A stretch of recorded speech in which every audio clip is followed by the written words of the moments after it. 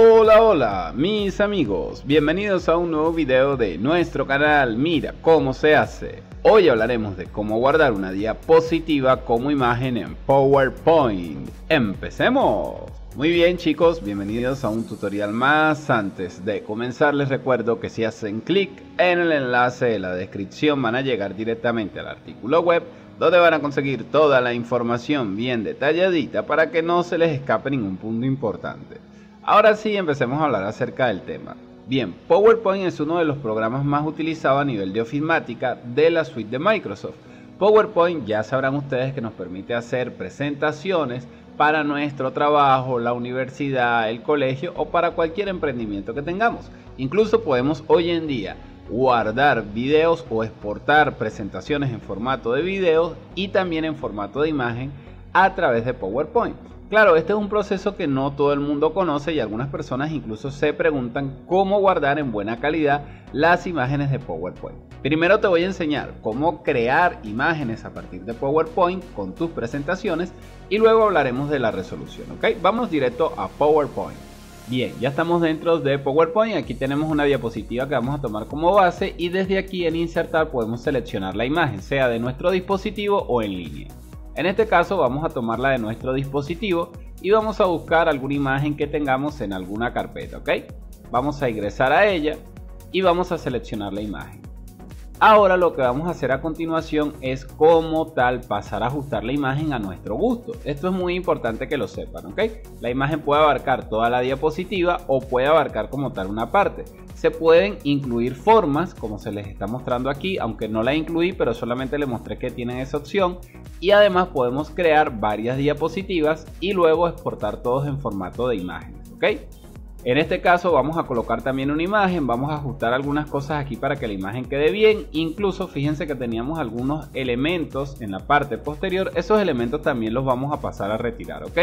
Para que vean que se puede usar una imagen para tapar algo que tengamos y también se puede usar la imagen en limpio, tal como lo estamos colocando aquí, ¿ok? Bien, una vez que ya hayamos cuadrado todo, ustedes también harán sus cambios allá, ¿ok? Entonces, básicamente ya lo que nos queda es pasar a exportar en formato de imagen. Para eso le damos a guardar como, seleccionamos la carpeta y aquí seleccionamos el formato. Esto es muy importante, ¿ok?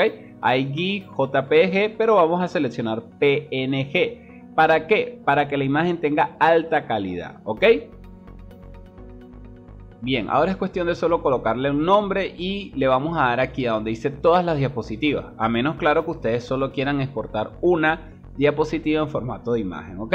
Al darle a todas las diapositivas se va a extender un nuevo cuadro. Aquí le vamos a dar a aceptar y lo que se va a crear es una nueva carpeta con las diapositivas en formato de imagen.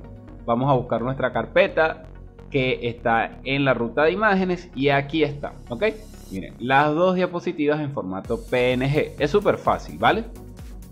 Bien, ya vieron como tal cómo se hace la exportación en formato de imagen en PowerPoint. Pero ¿qué sucede si nosotros queremos una resolución diferente?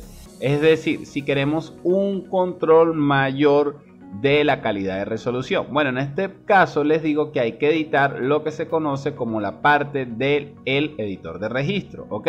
Tienen que seguir esta ruta que está aquí a través de lo que es el editor de registro. Para las personas que no saben invocar el editor de registro, pues presionen Windows más la tecla R. Recuerden que en su teclado hay una tecla que es la de Windows y se va a activar como tal una ventanita que es la de ejecutar. Ahí van a escribir regedit y van a llegar al editor de registro. El editor de registro se ve así, ok, hay un montón de carpetas, pero no se asusten. Van a seguir la ruta que está en el blog y que pueden ver aquí. Current User, luego la carpeta de software, luego la carpeta de Microsoft, la carpeta de Office, luego 15.0 y PowerPoint, ¿ok? Miren, van a llegar a esta carpeta que dice PowerPoint y una vez que estén dentro de la carpeta PowerPoint van a llegar a la carpeta que dice Options. Se paran en la carpeta que dice Options y a la derecha van a tener un espacio en blanco. Ok, volviendo aquí al blog, de todos modos pueden ver la ruta marcada aquí. Es importante que sepan que antes de 15.0 y luego de Office va la carpeta de PowerPoint. No vayan a cometer el error de no colocarla. Listo, una vez que estén en la carpeta apropiada, si no encuentran el registro, van a crearlo ustedes mismos. Le van a colocar por nombre Export Bitmap Resolution y le van a colocar un valor. Si le colocan 96, la imagen se va a exportar a 960 x 720 o 1280 x 720, dependiendo de la imagen que coloquen dentro de la diapositiva.